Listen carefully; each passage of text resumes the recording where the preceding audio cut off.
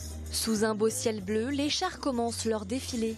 Ils sont une quinzaine à parader sur la grande avenue de Fontenay-le-Comte pour le plus grand plaisir des natifs du pays, mais aussi des curieux venus d'un peu plus loin.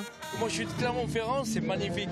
Mais c'est vrai que bon, euh, ça c'est jovial, c'est très beau quoi.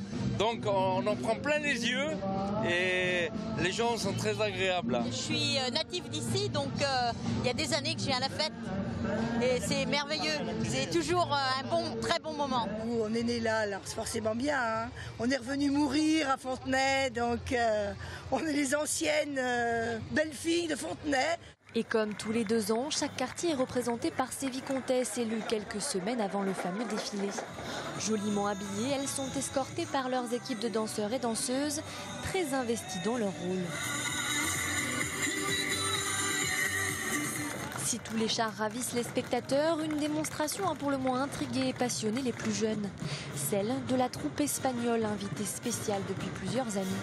Les vikings, enfin un truc comme espagnol là Voilà c'était assez joli et assez un peu rigolo. Ah, les costumes, ils sont trop beaux. Et si les enfants étaient nombreux sur les bords du cortège, ils étaient également les rois de certains chars car l'aventure de la Biennale est aussi une histoire de famille. C'est une, fête qui est de génération en génération, donc on suit ce qui s'est fait les générations d'avant et on continue. Moi, c'est mon grand-père qui, organisait, mon père et maintenant moi. C'est génération en génération. C'est vraiment une fête euh, super et qu'on nous ferait pour rien au monde. Les chars fleuris de cette 67e édition de la Biennale de Fontenay-le-Comte ont une nouvelle fois prouvé toute leur originalité. Près de 30 000 spectateurs étaient rassemblés tout au long du parcours et une belle édition se termine.